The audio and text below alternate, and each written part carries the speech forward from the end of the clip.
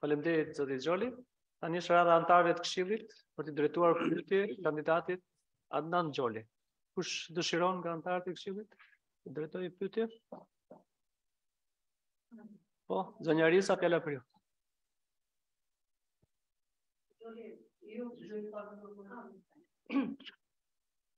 Xholi, ju keni pasur një eksperiencë me minjore dhe me atë dhe të paraqitura prej jush, kemi pasur kohën e nevojshme, njëkohësisht edhe sot nëpërmjet prezantimit që bëtë.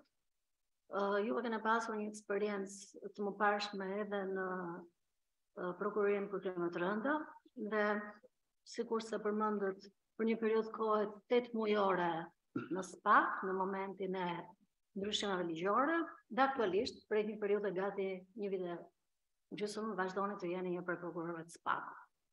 Atëherë, duke qenë që ju keni qenë pjesë e këtyre dy strukturave, si e uh, konsideroni punën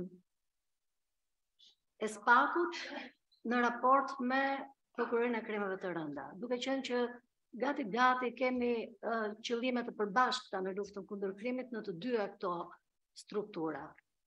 Pyetja e parë.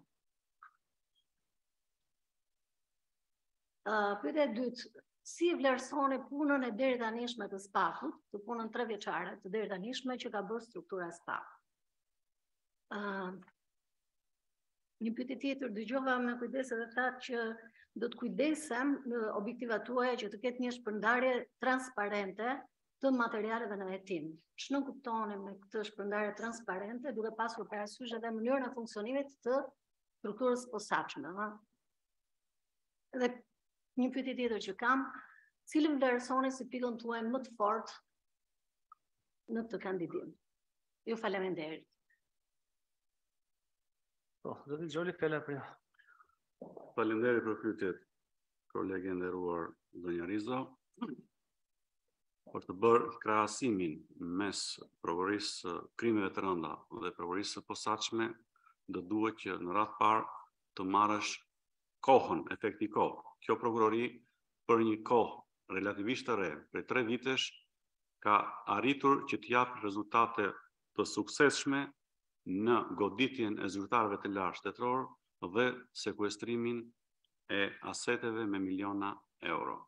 Dhe them që ka qenë punë e shkëlqyer e kolegëve të mi të prokurorisë posaçme atë çfarë kanë bërë deri më sot dhe do kërkoj që të vijohet me të njëjtin ritëm edhe në vijim, por duke rritur shpejtësinë në kryerjen e hetimeve dhe në vendimmarrjet përkatëse. Në lidhje me kompetenca që ka pasur Prokuroria për Krime të Rënda dhe kompetenca që tashmë ka SPAK.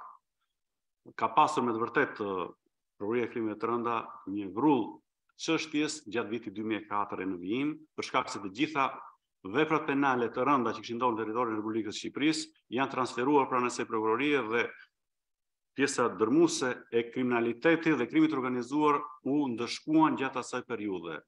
Por edhe prokuroria e, e posaçme, falë edhe çështjeve të cilat u transferuan nga ish prokuroria për krime të rënda, por dhe ato që u nisën rishtazi, janë dënuar pra zyrtarë të lartë dhe grupe kriminale të cilat ishte e pamundur që mos ekzistonin këto dy lloj strukturash mund të ndëshkoheshin nga gjykata të tjera që janë ndër gjykatat dhe gjyqtarët më profesionistë, të cilët kanë dhënë vendime bazuar në prova, të cilat i kanë mbledhur këto lloj prokurorësh. Në lidhje me shpërndarjen transparente, patjetër që edhe sot e kësaj dite shpërndarja bëhet me short pranë prokurorisë së posaçme, por shorti është manual.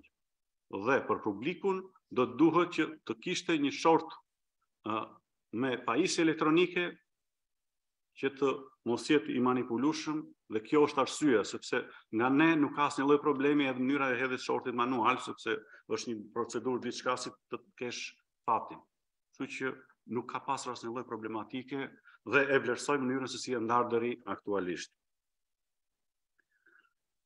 A, pika ime e fortë. E thashë edhe në fjalën time. i kam provuar të gjitha funksionet drejtuese. Kam qenë edhe ish drejtues i krimeve të rënda që tashmë ka ndryshuar emërtimin sot SPAK. Them që ato aftësi të mia drejtuese, bashkëpunimin me familjen time të prokurorëve dhe oficerëve të policisë gjyqësore, përveç se i kam kolegë, por me ta ne kemi pjesën më të madhe të kohës nuk po arrijmë që shikojmë kalamajtë tanë, por me kolegët jemi aty dhe kjo lloj sinergjie e re, kjo lloj bashkëpunimi me kolegët dhe me institucionet e tjera ligjzbatuese, them që është një ndër pikat e mia që unë e kam dhënë përvojën, them që ta avancoj dhe më tutje. Nuk e di nëse ju përgjigja e kërë si tu. Falem dhe.